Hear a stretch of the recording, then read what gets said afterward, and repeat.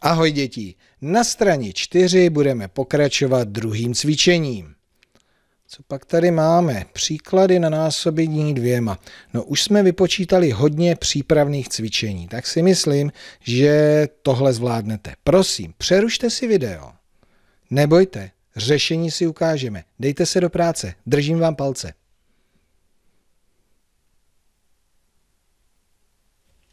Výborně. Tak, slibované řešení.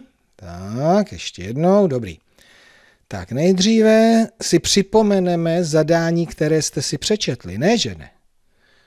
Vypočítej výsledky příkladů, které jsou větší než 8 a zároveň menší než 13, vybarvi žlutě.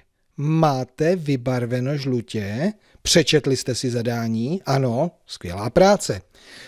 Takže nejdříve výsledky těch příkladů. Budu říkat opravdu jenom výsledky. 20, 10, to byl první sloupeček, 14, 6, druhý sloupeček, 16, 4, 2, 18, 8, 12. Výsledky správně? Dobře. A teďka větší než 8 a zároveň menší než 13.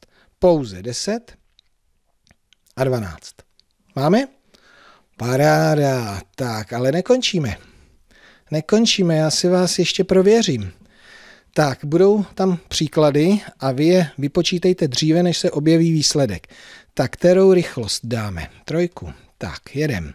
10 krát 2. 20. 5 krát 2. 10. 7 krát 2. 14.